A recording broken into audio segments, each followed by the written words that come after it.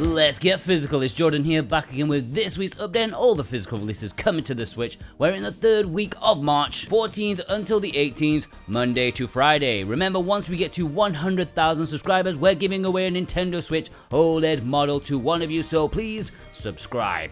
This episode is sponsored by Sakuraco. Sakuraco is a monthly Japanese subscription box full of 19 authentic, traditional Japanese snacks from Japan's local artisan snack makers. Each month you get a box packed with fascinating treats, each of which is explained in a lovely booklet with the box, so idiots such as myself can feel a bit more cultured.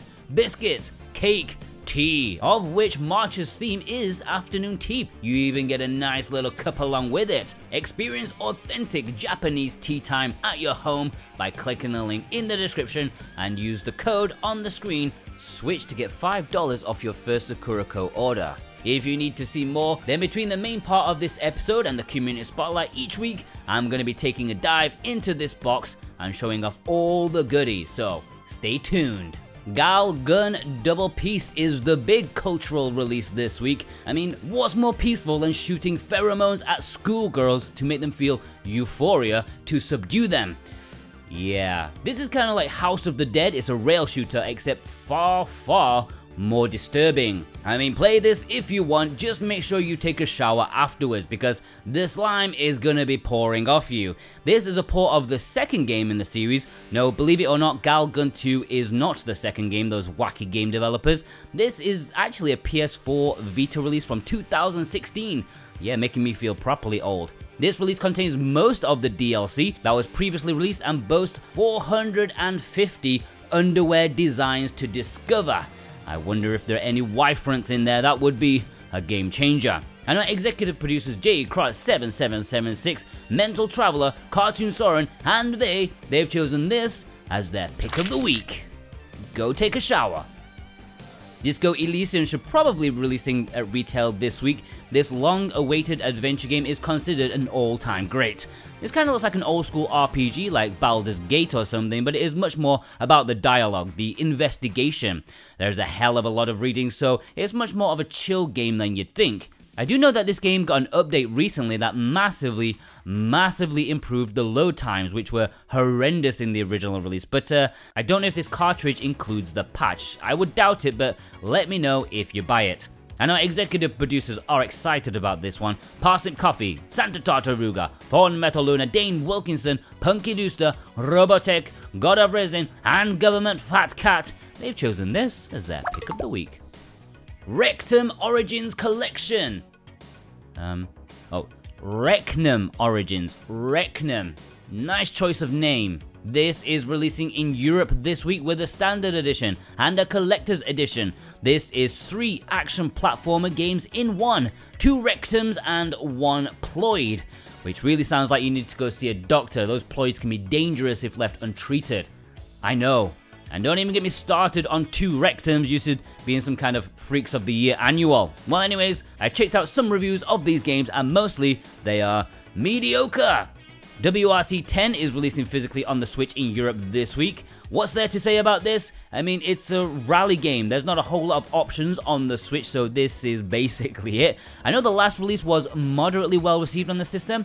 I always worry about performance issues with games like this, so fingers crossed this one is good too. And our executive producer Grant Cert chosen this as his pick of the week. The Cruel King and The Great Hero should be releasing in North America this week, although I know a lot of people got theirs earlier than expected. I already talked about this last week, this will be a popular one, I have no doubt. Don't be on the fence about this one if you're on the fence, just get it because I'm pretty sure this will be difficult to get for a reasonable price in the future. Alright, the low prints now. Obviously, we have picks of the weeks from our executives, but I'm also thinking of including a brand new award called the Bafflement of the Week, because this week I've been baffled by Strictly Limited Games. Again, they baffle me quite a lot, because they have put up for pre-order Super Epic. Yeah, you may know this game from always seeing it in bargain bins. It's really cheap on Amazon, not that there's anything wrong with the game, as it's pretty good, it's a good game, but I think it's fair to say it kind of flopped in both Europe and North America with its limited run release. And so, what are Strictly Limited doing? Well, they're making a collector's edition for it. Of course! For absolutely no reason, aside from, I'm guessing they got cheap stock from Numskull that they were desperately trying to shift. You know, print some new covers, slap some stickers on it, call it a new collector's edition, earn a little bit of money that you probably desperately need by now. It's really clear to see what they're doing. They must have got these seriously on the cheap if it's worth them to look this awkward. I mean, I almost pity them. Almost. And I just absolutely, absolutely love the complete irony that this game is all about how greedy game publishers ruined gaming. It's just Oh, I think I'm having an irony-initiated orgasm right now. This must be an inside joke. They must know this, right? It's just, it's beautiful. It's poetic. Ender Lilies is a highly regarded Metroidvania on the Switch. Many people have been begging for a physical release, and here it is thanks to limited run games. With great story, art, and gameplay, it's a critically acclaimed game that if you're into darkly exploration, you'll probably need this in your collection while you're still waiting for Hollow Knight sequel. Where is that by the way?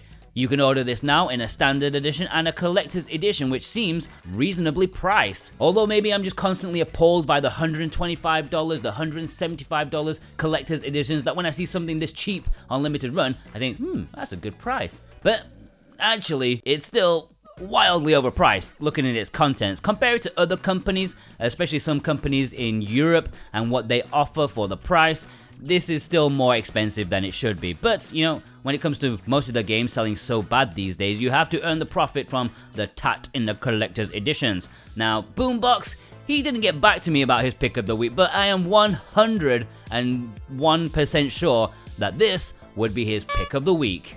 I'll give you a refund if it's not. Phantom Breaker Omnia is a fast-paced 2D anime fighter from Mages being sold at limited run games. This contains a few characters from Mages VNs, such as Steins Gates and Chaos Head. Visually, it looks great as you'd hope from those experienced with the VNs, but uh, it is an updated version of an arcade game from 2011. Now, I do like these games, but when it comes to being shit at them, I am I am the absolute king. I mean, I wanted to review Melty Blood uh, from you know a while back, but my brain told me, Jordan, don't embarrass yourself. I'm not designed to talk about these games. There is a standard edition as well as a collector's edition. Alright, the imports. Remember, if anything takes your fancy and you'd like to import it for yourself, then consider using the links below in the description and the pinned comment. If you use those links, it also helps support this series ever so much and I thank you from the bottom of my heart. It really helps support us in more than more than you could ever know. Plus, in return, if you click our links, you can get a very nice 5% off any physical item from PlayAsia if you use our coupon code GETPhysical. That's all one word, GETPhysical, for 5% off any physical item from PlayAsia. Now this code will, I believe, run out at the end of March, and so soon we should be getting a brand new code, so keep that in mind. Dungeon Encounters is releasing in Asian regions this week with English. This is a game from Square Enix made by an all-star team, but purposefully kept to dungeon crawling at its purest form. No fluff, no over-the-top visuals, just distilled dungeon crawling. The older I get, the more simple I get in terms of what I like. It may be a little bit hardcore for some, but I genuinely like to play this. I keep putting it on the poll for the It's a Bit Late But reviews, uh, but I seem to be in the minority there. Never mind though, I get it, but I really think this is going to be a fantastic import this year. And our executive producers Isa and Brent McLean have chosen this as their pick of the week.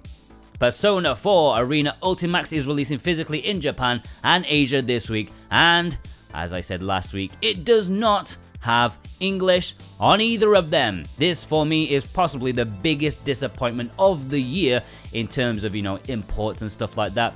Uh, but you know, the game's already translated. The Steam release has all the languages, no matter where you buy it. So why not the Switch release, you bastards, Atlus, you absolute smegheads?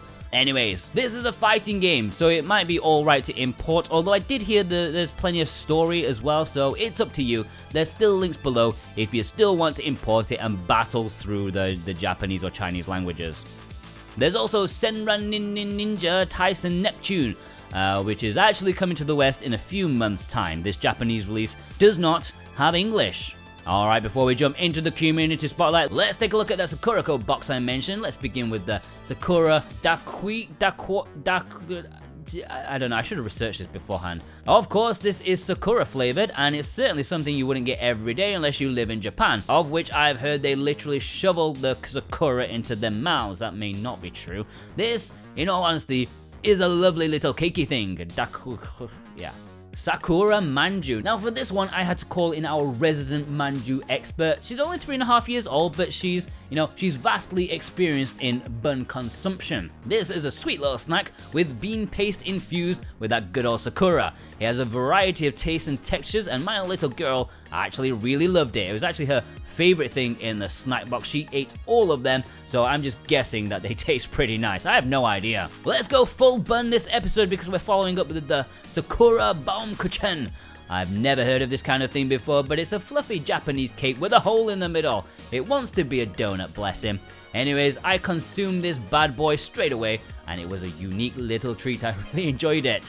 We'll get into more next week, so stay tuned. And if you want to order this from Sakuraco, then please, please use the link in the description as that helps support us very much. Plus, you can use the code Switch to get $5 off your first Sakuraco order. Now, before we get on to you lot, Leoful were nice enough to send me a physical copy of The Company Man. This is an Asian exclusive physical release of a game you may be quite familiar with. It's featured in many Spotlight posts and I reviewed it back in January. It's a really solidly decent action platformer with very inventive level themes, all revolving around the office world.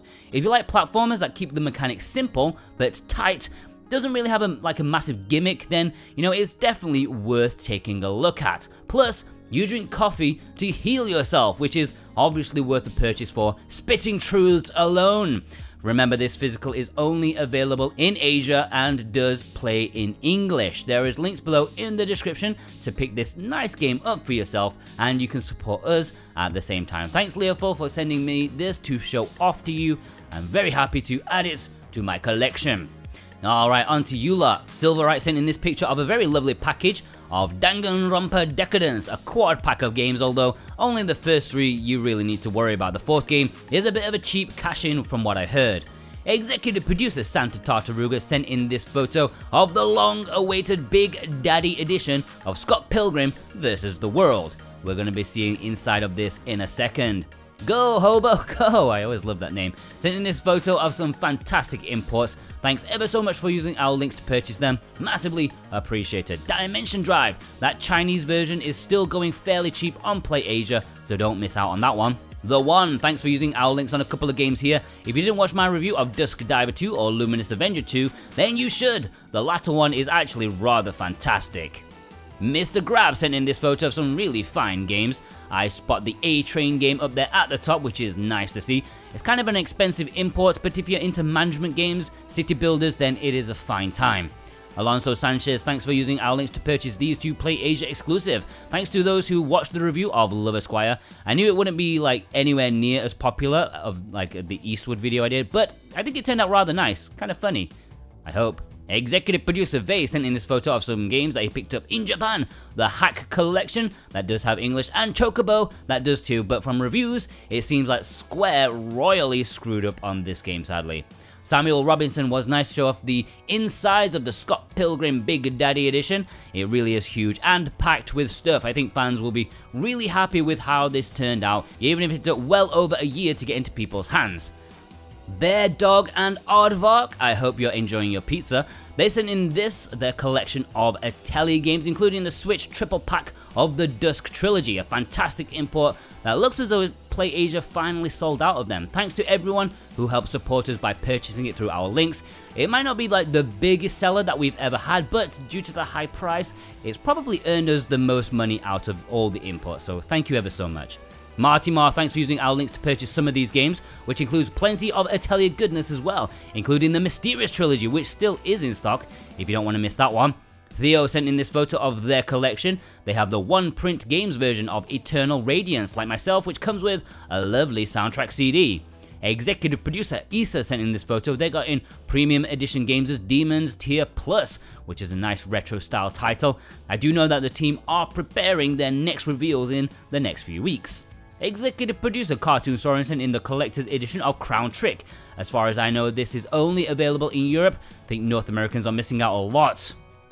Little Ravenson in this photo of Cotton Rock and Roll, which will be known as Cotton Fantasy in the West because that's really boring. Call it rock and roll, you cowards! Rick Menso showed off the uh, size of the premium box edition of Atelier Sophie 2. That's a huge beast. I can't remember if I ordered this or not. Uh, I definitely got Ryza 2 though, the premium box of that one. Anyway, Switchback got in these games, including Red Art Games' as Butcher. I think I'll be showing this off at some point in the spotlight since they did kindly send it to me as well. Pretty badass artwork, I think you'll agree. Executive producer Thorn Metal Luna sent in this photo of some fantastic games, although I can't quite get over the fact that the North American cover, uh, the version of Neo Geo Pocket Collection, is slightly censored compared to other regions. I mean, God forbid we see a tiny little bit of cleavage. Can't have them kids seeing promise of some boobies. I mean, what if they accidentally get an erection while browsing GameStop? Unforgivable! Sosha sent in this photo of some fine games, Metallic Child, I'll keep saying it, Get on that game, it's a real gem on the system. Radio to Rancid sent in this photo a triple helping of super rare stuff, alongside some really nice looking Shin Megami Tensei stuff. Game Kage sent in this photo of Love Esquire. Not sure why the soundtrack artwork omitted the half naked ladies, it's a bit disappointing, but hey, the music's pretty good by the way. Executive producer Elissa sent in this photo showing off the storybook games, or whatever the series is called, uh, including the brand new Cruel King, which I think is going to sell out very quickly indeed. It's, it's a bit of a beast. Executive producer Parsnip Coffee got in these games, including the lovely adventure game Alba, where you just walk around an island, take photos of wildlife, and also help people out. An import that not many people talk about. Alright, let's have a roundup. King Kin. No Face. Hudo. Needless Dragon. Draco Bud Smith. Etienne. My Pal Dragon. Steven665. Chew It. Dark King Koopa. Pabs. Bryson Caldwell. Robin Haberall. Ying. Ashura G. McLaren. Easy, Wisey. Kraid. Shamos. Destiny's Hero. Invasorzim. Inv inv Invasorzim.